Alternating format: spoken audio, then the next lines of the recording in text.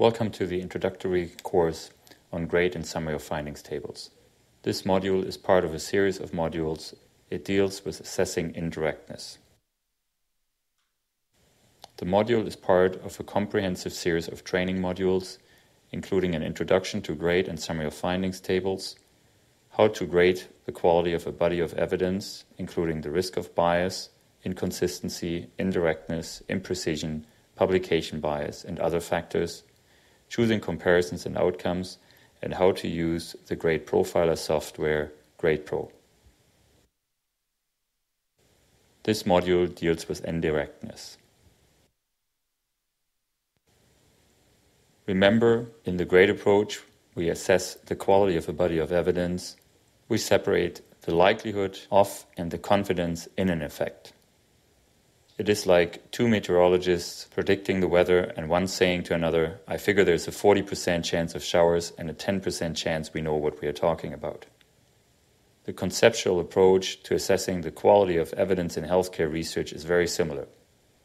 The estimate of a 40% chance of showers may be very precise. In fact, there may be very narrow confidence intervals around it. However, just imagine that the meteorologists are predicting the weather for New York City and they are applying a model that was developed in Australia. Their confidence in the actual estimate of 40% chance of showers may be very limited, expressed here by a 10% chance we know what we are talking about. The situation is analogous to that in healthcare, where we may have estimates of effect that are supported by low quality evidence that limit our confidence in any estimate of the effect. The quality of evidence in the grade approach is expressed in four levels, ranging from 4 plus to 1 plus. 4 plus indicates we are very confident that the true effect lies close to that of the estimate of the effect. It's also called high quality evidence.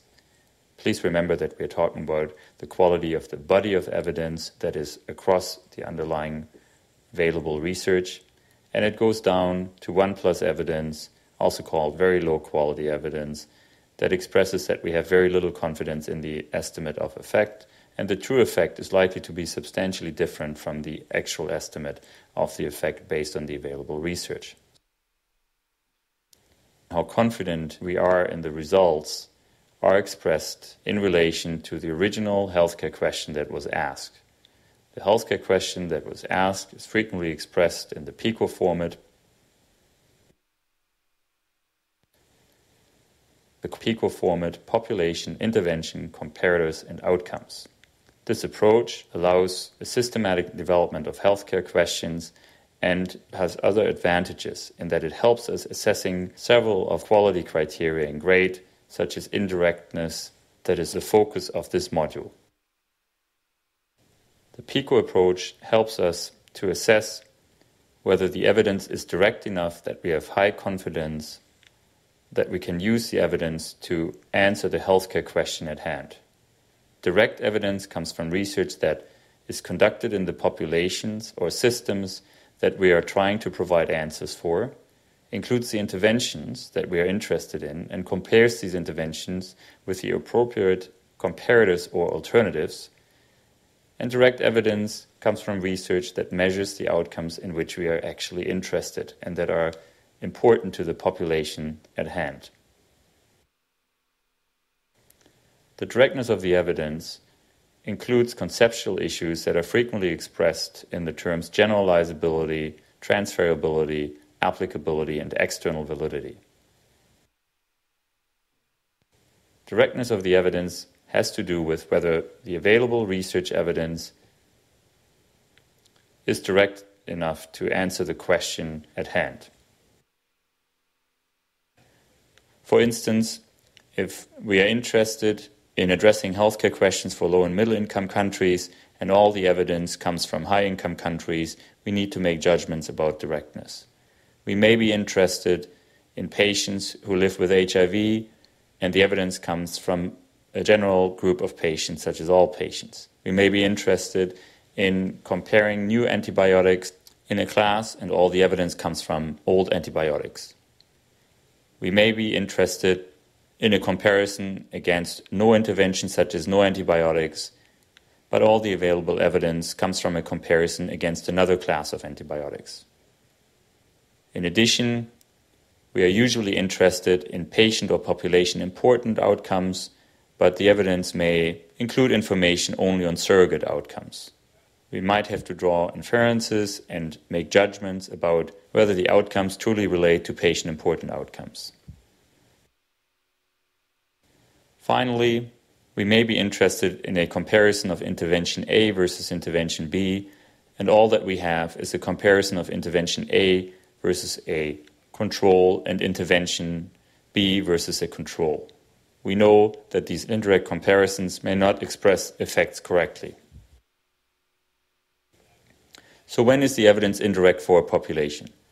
A systematic review may ask what are the effects of self management in programs in people with asthma? Consider the following separate scenarios for the outcome quality of life. For instance, what if five out of six studies include people with severe asthma and we are interested in making judgments or providing an answer for patients who have mild asthma? Four out of six studies may be in children that are younger than 15 years old. Do these results directly apply to adults? And third, all of the studies may have been conducted in women. Would the results be directly applicable to men? These judgments will influence the directness of the evidence.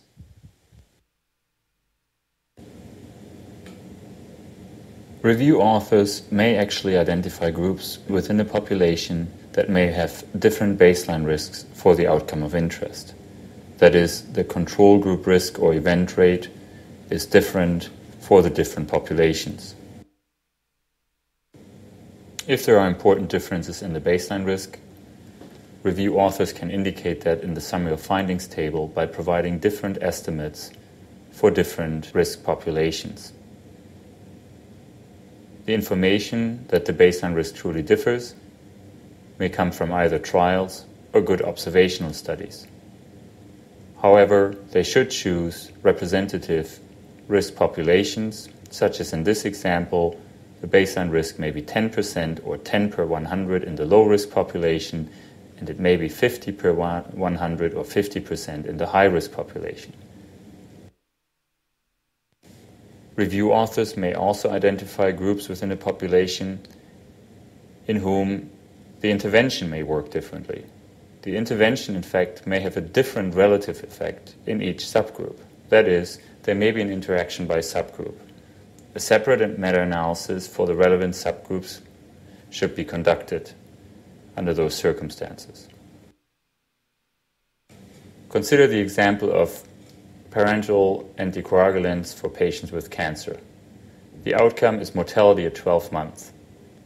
The authors suspected a difference in patients based on the cancer type. They looked at two different patient groups patients with small cell lung cancer and patients with advanced cancer in general. This meta analysis shows the results for cancers other than small cell lung carcinoma for patients with small cell lung carcinoma and the overall effect. The effect in patients with cancers other than small cell lung cancer was not statistically significant with a relative risk of 0.96 and a confidence interval from 0.86 to 1.07. The effect in patients with small cell lung carcinoma was statistically significant with a relative risk of 0.86 and a confidence interval from 0.75 to 0.98. The overall effect, again, was not statistically significant with an I square indicating some degree of heterogeneity of 35%. In particular, pre-planned subgroup analysis should lead review authors to present meta-analysis with the subgroups divided. There may be statistically significant differences in these subgroups. A test for interaction helps. In the example that has been provided here, and if a systematic review author intends to present the results for subgroups, they should consider creating a table for each subgroup. Such as in this case, one table may provide the data for patients with small cell lung carcinoma, and one table may provide the data for patients with advanced cancer. If you do produce separate summary of findings tables, do not downgrade the quality of evidence for the indirectness. If you consider creating one table, such as is suggested by the lack of important subgroup differences in the example that we provided here, that is, there is no interaction and no important heterogeneity, or one may decide, based on a judgment that no important subgroup effect is present, one may present the effects for both subgroups together. Or one may present the effects for one subgroup only and indicate the effects for the second subgroup in a separate footnote. If there are important subgroup effects or the evidence is not direct enough to apply to all patients at hand, then one would possibly downgrade the quality of evidence. The example that we provided here shows that judgment is required. There is no clear indicator that the effect truly differs in one group from another.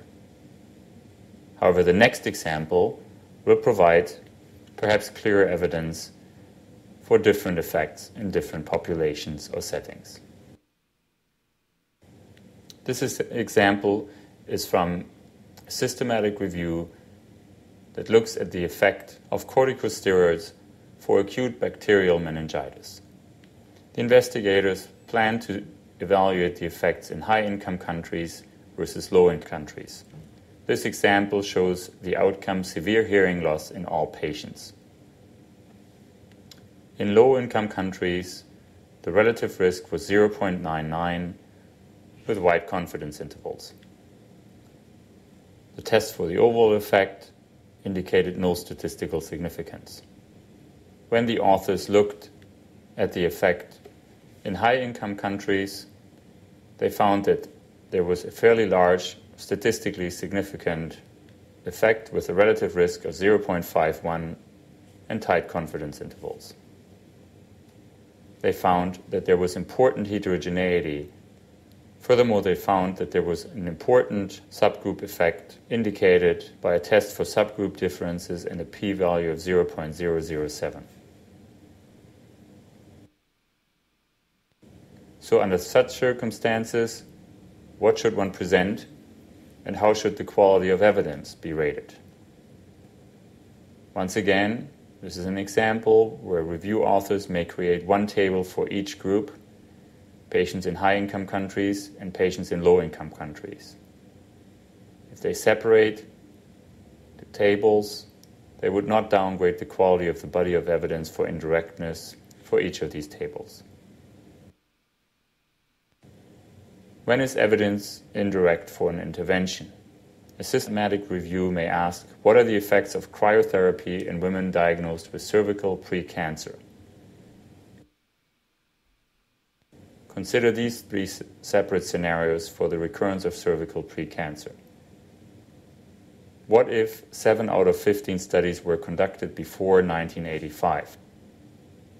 New technology was introduced in cryotherapy in 1996. Does the evidence, that includes a fairly large body of evidence from older studies, directly answer the question? What if 8 out of 15 studies did not indicate if there were other core interventions such as prophylactic antibiotics provided? Is the evidence direct enough to provide an answer to the question without use of prophylactic antibiotics? And finally, in 5 out of 15 studies, cryotherapy was provided by nurses as opposed to other healthcare providers. Or the other studies did not indicate who was the actual provider of the intervention. Is the evidence direct enough to answer the question if all healthcare providers were nurses or if all were, for instance, physicians?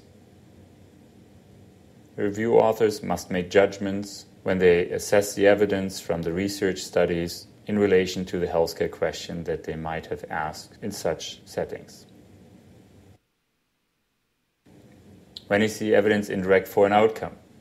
Review authors should consider and choose outcomes that are important to patients or populations. They should avoid choosing surrogate outcomes despite the frequent use of surrogate outcomes and the frequent presentation of such data in the literature that they evaluate. Review authors should also present patient important outcomes in the summary of findings tables or indicate clearly what the surrogate outcome may stand for and assess the indirectness of the surrogate outcome to the patient or population important outcome that they were interested in. Following slide provides some examples of surrogate outcomes. For instance, investigators may feel confident that smear results in the sputum after two or three months of therapy may be good indicators of cure from TB. They may use cholesterol as a surrogate for cardiovascular outcome, outcomes, but must assess how direct such surrogate indicates cardiovascular disease and possibly downgrade the quality of evidence.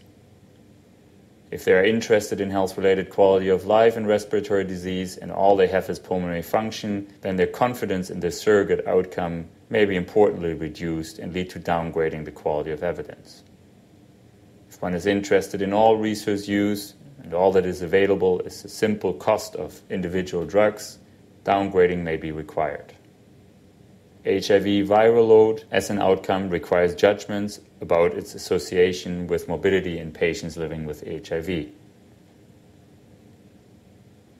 If systematic review authors are interested in evidence about venous thromboembolism and all they have is information about asymptomatic deep venous thrombosis, they must make judgments about the directness of such evidence. Similarly, blood levels of calcium phosphate may be very poor indicators of coronary artery disease. Coronary calcification, measured by CT scanning, will be only a surrogate for coronary artery disease and related events. Tumor size may or may not be judged an appropriate surrogate for survival. Similarly, public health interventions, a reduction in air pollution, may or may not relate to morbidity or respiratory disease.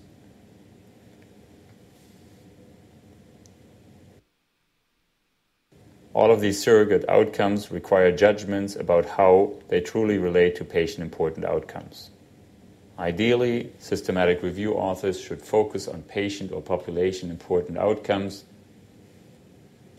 If only surrogate outcomes are available, then they must make judgments about the directness of the evidence and indicate clearly what surrogate outcomes have been used.